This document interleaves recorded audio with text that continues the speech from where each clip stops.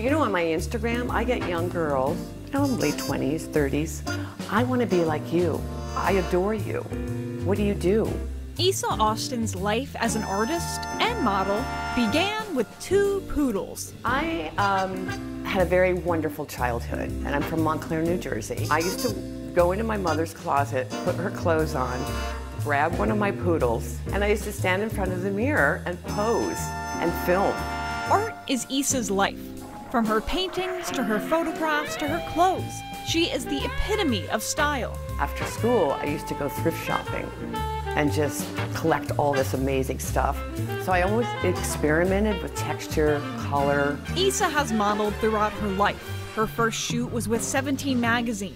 But years and years later, her style caught the eye of photographer Ari Seth Cohen, who runs the website Advanced Style. And we just shot a whole bunch of pictures in the alleyway.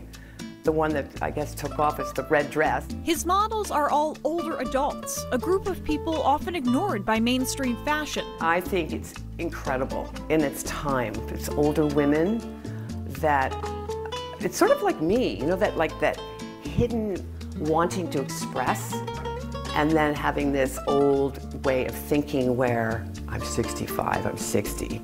You know, do I have the right? I, I, when I look at them, I, I get, it's very joyful. And when she's not modeling, Isa is painting. I use house paint, I use anything that I can find. I actually dress up when I paint because it sets the mood.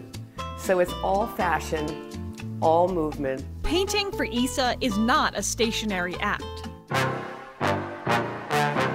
She sings, she struts, and yes, she dances. I think everybody should be an artist of some kind. And art, to me, is like why we're here. It's everywhere.